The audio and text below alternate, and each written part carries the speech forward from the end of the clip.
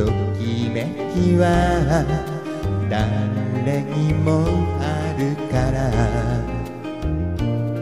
心の中を打ち明けて。恥ずかしがらずに。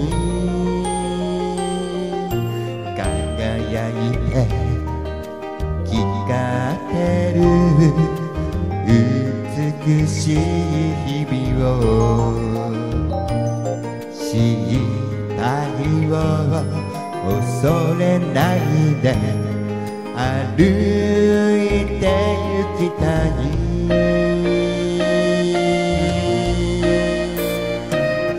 さよならだけは言わないけど一つだけ伝えたい。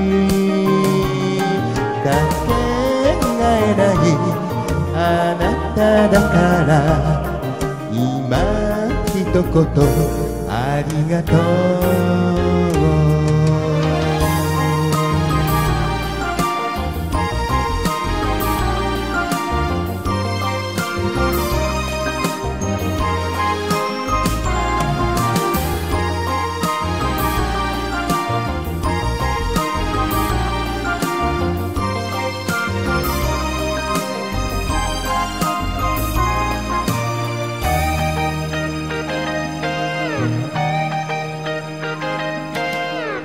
ちぼけ日が暮れて季節は流れる。花が咲き枯葉になりやがて雪が降る。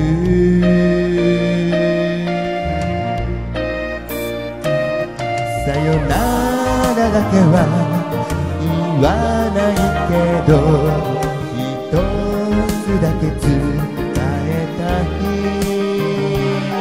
かけがえないあなただから今一言ありがとう喜びの日も悲しい日も共に夢を追いかけた